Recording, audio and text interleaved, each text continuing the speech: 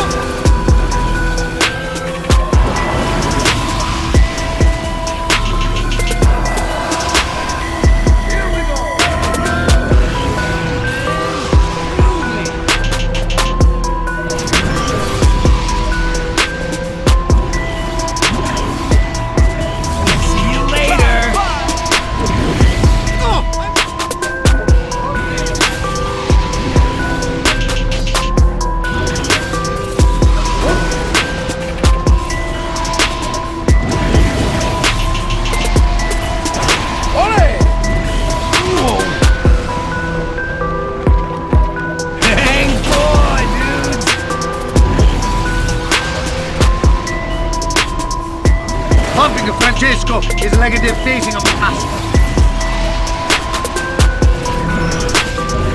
Oh, hello!